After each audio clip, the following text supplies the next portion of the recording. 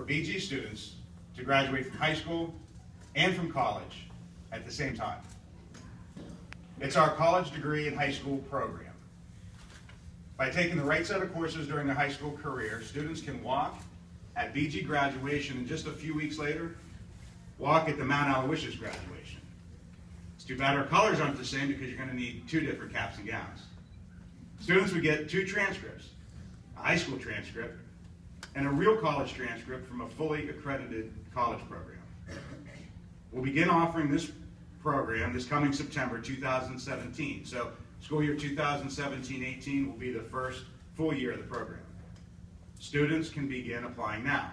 The best time to apply is before they enter the ninth grade at BG. So parents of students currently in eighth grade are our primary audience at the moment.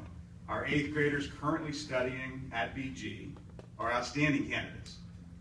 But the doors are open to applicants from any school. This includes our excellent Catholic middle school, Holy Trinity, students from public schools, or any other school. We do have limited placements available, and we're expecting to start small and grow.